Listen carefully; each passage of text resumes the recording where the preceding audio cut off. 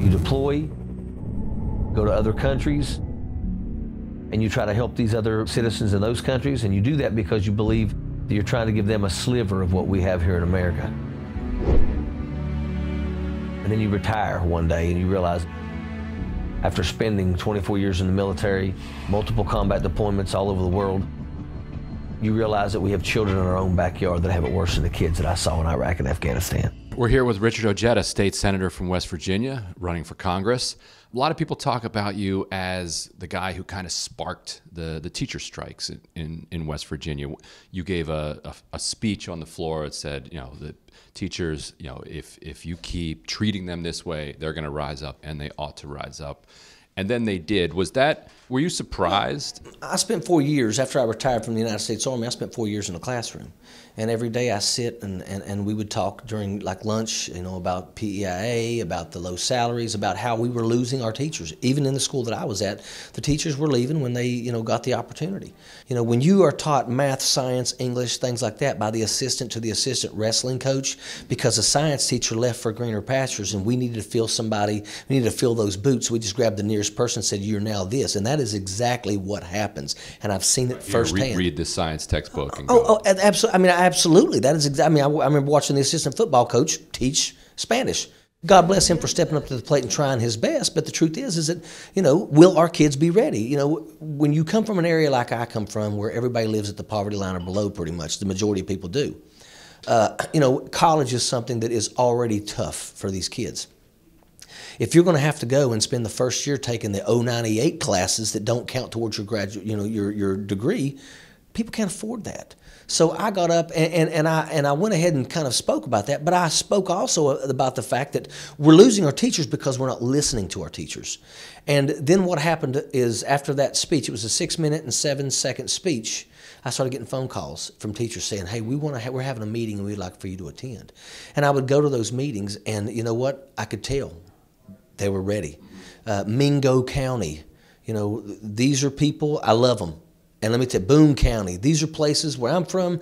These people will fight you, and they won't take. They will not take. You know, they're not going to take your garbage, and they have been pushed for far too long. You can only kick a dog so many times before it rips you apart. So you know, uh, they were in a room in Mingo County, and a man that was in there, he was married to a teacher. He stood up and he had a UMWA shirt on, and he says, "Let me tell y'all something." He says, "If you're going to do this, you got to do it together, and you cannot." You cannot stop. Do not let them break you. And I'm going to tell you, they made the decision. Mingo County was the first ones. But as soon as Mingo County said, Boone County said, uh, uh, uh, Wyoming County said, and then it spread. The labor organizations joined in. On day five, when you walked outside, you didn't just see teachers, school service personnel. You saw the United Mine Workers of America. at the Capitol. Yes, yeah. you saw painters, Teamsters, International Brotherhood of Electrical Workers. They stood together strong, and they all had their voices heard. And in the end, what happened? You know, we had our, you know, Patrick Morrisey threatened to, to, to you know, uh, you know, do a, an, uh, an injunction on the teachers. You know, went around specifically tried to speak with superintendents to to, to villainize these teachers. All the legislators were doing that uh, on on the other side. And uh, you know, I'll tell you right now, the teachers they say, "Oh, it's illegal to strike." Well, what are you gonna do? You gonna fire me? You already treat me like garbage. If you want 728 vacancies to become 1,700 uh, vacancies overnight, then keep doing what you're doing. And they won. So how'd you get into politics? When did you, as when when people talk about it, they say not not a typical politician. Well, I retired from the United States Army, and I I come home. And when I got home, I was sickened at what I saw. You know, I spent 24 years in the military. I got four trips, uh, you know, to to combat zones. Uh, I was in Haiti for the uh, earthquake. You know, I've been all over. I spent so much time away from my family, a year in Korea, two years in Germany. I spent a lot of time away from my wife and my kids. And, uh, you know, I've lost brothers that I love dearly. And then you come home, you know, you live in a bubble in the military. You get to believe that it's all about the beans and the bullets. That's how come, that's how come military folks are mostly Republican because they only focus on who's going to give me the beans and the bullets that I need to be able to accomplish my mission. And historically, Republicans have really been the most generous to the, the, the, the, the military. So that's why a lot of people that are in the military, you know, are that way. But you retire or you get out of the military after spending a significant amount of time and you come home and you realize that, you know, when we deployed to Iraq and Afghanistan, we said we're willing to go over here and risk our lives to give these people a sliver of what we enjoy in America because we're the greatest nation on earth. And then you come home and you realize it's a lie. We got homelessness all over the place. This is Washington, D.C. They're all over the place here, you know. We've got an opioid epidemic that is ripping our communities apart and making it the basically episodes of The Walking Dead, except for real. You know, and nobody does anything to stand up to big pharma. We lost more people last year than all the lives lost in the Vietnam War. Who's the enemy here? You come into our country and you crash buildings, and you crash airplanes into our buildings. We've been at war now for almost 20 years. But big pharma has killed over, uh, killed uh, you know uh, uh, more people than, than all the lives lost in the Vietnam War, and we're going to sit quiet and continue just to look the other way because lobbyists grease people's pockets? No. When did you first run for state senate? In 2014. I ran in 2014 because we had people that were in those positions that had gotten, they forgot. They forgot what being a Democrat was really about. They thought, okay, now it's just about me showing up right before the election, writing some checks to three biggest crooks in the area, and then I can leave after I take a few pictures, and then they'll give me the area on a silver platter. It, the Democratic Party is about taking care of the working class citizens, taking care of our sick, our elderly, our veterans, and then creating opportunities for those who live in poverty to elevate themselves out of poverty with a hand up. You know, and they forgot that. It become about them. And that's why we have lost. That's why we've lost all over. Now, the state of West Virginia, who was absolutely blue, uh, uh you know, 100%, is now red. It's red. And the reason why is because the Republicans capitalized on the fact that we had a lot of people that had been in there for 20, 30 years that literally forgot about the people. But now I'll tell you right now, it's only been it's only taken three years for I'm t- I think we're going to have a blue weave in West Virginia. But let me tell you something. Those of us that are left, the Democrats right now that are in West Virginia in the House and the Senate know that we must do right by the people. I will tell you right now, I believe wholeheartedly that the moment that we take back our state, we will be the first state to overturn right to work. We will bring back the prevailing wage. We will we will raise that natural gas uh, severance tax. And 2.5 percent is not going to be enough now with the way they acted. We're going to take care of PEIA for our people. We're going to do our best to give people better salaries. You know, there's jobs in West Virginia. The only problem is, is every, one person has to do three of them to survive. Yeah. That's an issue. So you won, you won your first election with barely any money. Yes. How did you do that? And did your colleagues eh, notice? Like, is that is that why they're starting to fight for the working person? Like, oh, uh, this they, this other way can actually. Well, they work. noticed after. Right. You know, first off, you know, uh, I won around forty eight hundred bucks is what I what I used to win my Senate seat. Now it also, you know, I was actually almost murdered as well. Two days before the primary, hit in the back of the head with a pipe, rolled over while I was unconscious, and they broke eight bones in my face with brass knuckles. He reached into the vehicle and grabbed an object and then ran around and struck me in the back of the head. I honestly remember just closing my eyes, and it was like I was just going to lay down and fall asleep. I went to the hospital not knowing what to expect. I wouldn't let my kids go to the hospital because I didn't know what to expect. Was that the local machine that was, I, well, absolutely, absolutely local machine, and the, and and what even shows you know shows proof is that nothing really was ever done. The guy didn't do six months, and he did it in a non-violent facility. When you're part of that clique, you get away with things, and the and the and the and and even the court system, you know, does that. The prosecuting attorney of Logan County, West Virginia, I told him, do not take a plea deal. I want this to go to court. I want it all to come out. I don't care if I don't care if he if he wins. I want it all to come out on the table. And in my absence, he went and took a plea deal deal. He agreed to a plea deal that said we got in a fist fight and I got knocked out.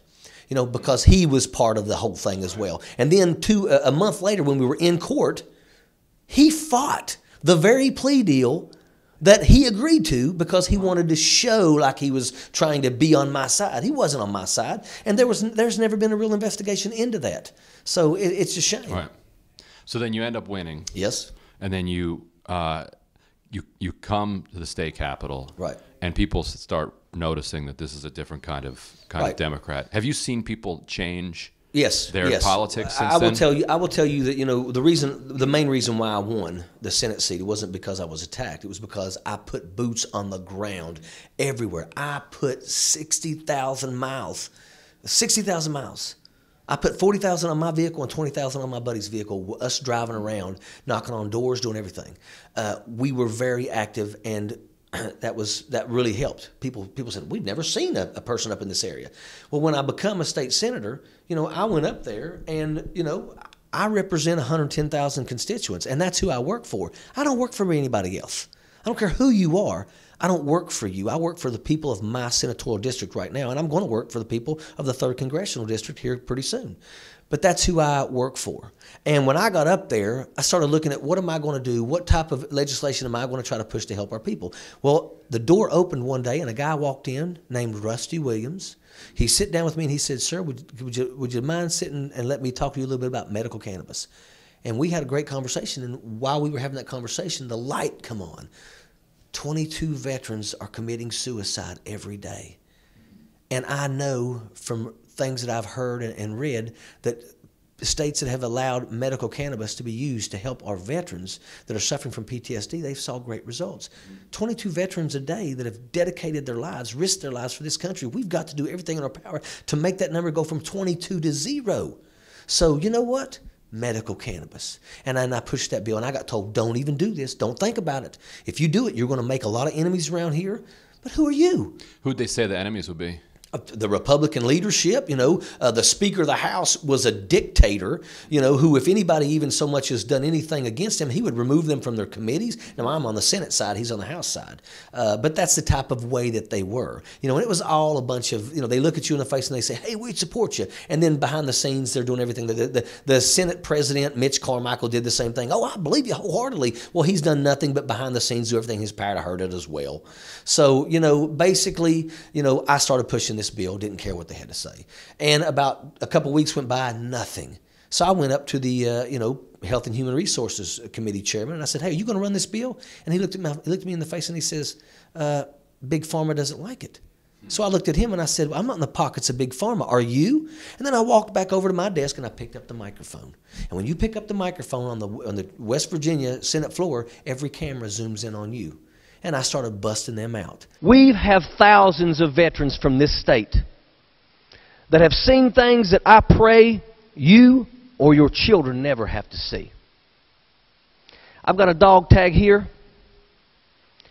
and I can remember telling the wife her husband's not coming home to see the birth of their first son because she was eight months pregnant and he was killed in the Al Anbar province. I think about her and what she has to go through. And I can go through every one of these here, and I remember every one of their faces. And I love them like they're my brother. But we can't help them. They died in combat. But we can do something for the first time in the state of West Virginia. We can help our veterans and I started talking about how, you know what, we're going to sit here and allow people that are suffering from Parkinson's disease, multiple sclerosis, severe ADHD, Crohn's disease, epilepsy, post traumatic stress disorder. And it's not just soldiers. You show me a firefighter or a police officer that's been in the job for 10 years, I'll show you somebody that suffers from PTSD, that has issues at sleeping at night. You show me a person that, uh, a woman that was in a battered relationship, I'll show you somebody that suffers from PTSD. A person who was in a horrific car crash where they were the only survivor, PTSD. And there's so many more illnesses that we know for a fact that medical cannabis cannabis absolutely can help. And then I wanted to also make sure that we allow people the ability to grow their own medicine in their home for, for mature, for, for seedlings. And you know why? Because we're poor and a person that works 20 hours a week gets horrible benefits and they may not as well have the ability. But you know what? Poor people get cancer more than rich people because poor people drink from the tap and rich people drink Evian water. So those people get sick, and I want to give them the ability to have medicine versus them just struggling and having to suffer through it. You know, and by giving them the ability to grow their own medicine, they got it, and they would not allow it to happen. So where'd it go? Where'd the bill go? It passed. It went to the House, and they did a lot of damage. They set it up, and my opponent, Carol Miller, was part of it. You know, they set it up to where the only people who were going to eh, be able to get a license to grow was going to be the filthy rich. And you know what? Why not give everybody the opportunity? If they got a piece of land and they want to be able to start their own business and, and, and be successful in life, why not give them the chance? Oh, but no. They only wanted to give it like 30 people were allowed in the state to get the license. Who do you think's with them licenses? You know, probably the, the nephew of our governor, Jim Justice. That's probably who's going to get the licenses. You know, so that's not right. Let's give the people the opportunity to benefit from this. Once again, our people have broke their backs for the coal industry. They've, they, they've, they've worked for the timber industry. They're going to break their backs for the gas and oil industry. And in the end, the working class citizens that do all the work will be none the better for it. You show me the richest grounds, and I will show you the poorest people. It was them who come into West Virginia, looked us in the face, and said, You could be the next Saudi Arabia. And they want it to be Saudi Arabia, where everybody, you got 10 people in Lamborghinis and the rest of the people eating sand sandwiches. And I've said this many times before. Yeah. So it's in some ways it's formalizing the, a system that already exists. If you are tight with the sheriff, uh, you know the sheriff is going to give license, not an official li- paper license, but yeah, go ahead, you you grow. Right. No, we're not we're not going to come down on you, but you over here. Well, that when you're talking on you. about politics, that's how it. I mean, it's unfortunately that's what that's what hurt me. I retired from the military and I come home because I thought I was going back to the greatest nation on earth. And we've got people that call themselves leaders that can't spell it. You know, we've got people that that absolutely do not care about. They think leader means you're standing on the top of the mountain looking down at everybody, and they're supposed to do everything to make you better. When I come from, the leader is down there with the people trying to elevate them. You know, where I come from, you don't eat until your troops are fed. I'm a paratrooper. The first person out that aircraft is the leader. And you do that because you show the people standing behind you that's hooked up that you're willing to go first and throw yourself out that aircraft so that they have no reason not to follow you.